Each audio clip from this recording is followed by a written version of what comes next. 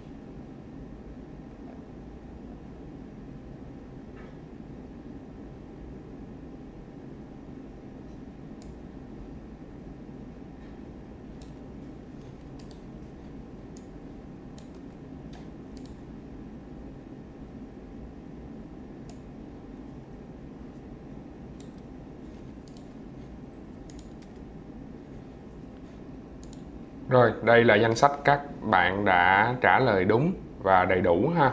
Thì ở đây mình đếm thấy có tổng cộng là 11 bạn. À, mình xin lỗi 14 bạn nha. 14 bạn. Rồi, bây giờ mình sẽ copy danh sách 14 này bạn này vào trong uh, random.org để tìm ra bạn may mắn trúng thưởng ha. Thì mình cũng rất tiếc là những bạn còn lại là không có được tham gia quay thưởng uh, quay số do là cái câu trả lời của các bạn là không đúng ha. Như là những bạn này nè, đa phần là tất cả các đáp án trên, câu này sai. Cũng như là có một bạn là số lượng cộng kết, trả lời là số lượng cộng kết nối, cộng giao tiếp là đúng rồi, nhưng mà cái tốc độ truyền tải không dây thì lại sai ha. Vì hai con này đều có tốc độ truyền tải là 300 megabit trên giây hết. Rồi, bây giờ mình sẽ copy vào. Rồi, giờ mình sẽ bấm ha, để mà tìm ra bạn may mắn nhất trúng được thiết bị Totolink router Wi-Fi chuẩn N N200RE V5 Rồi bạn may mắn nhất của chúng ta đó là bạn Trần Minh Khánh ha, với số may mắn là 624 bạn Trần Minh Khánh. Dạ rồi, đây. Bây giờ mình sẽ kiểm tra Facebook của bạn Khánh này xem có chia sẻ hợp lệ cái um, video đó hay không ha. Rồi bạn này đã chia sẻ trên từ Facebook rồi ha. Rồi bây giờ bên mình sẽ inbox với bạn Trần Minh Khánh này để tiến hành trao giải thưởng cho bạn. Rồi, rồi mình xin chào các bạn ha. À, trong chương trình này thì à, cũng khá là ít người tham gia thì mình hy vọng là khi mà kênh youtube của Totolin Việt Nam đạt được 5.000 lượt sub á, thì bên mình sẽ có một mini game tặng bộ router mesh Totolin T6 V2 thì các bạn sẽ tham gia nhiều hơn nha. Dạ rồi xin chào các bạn.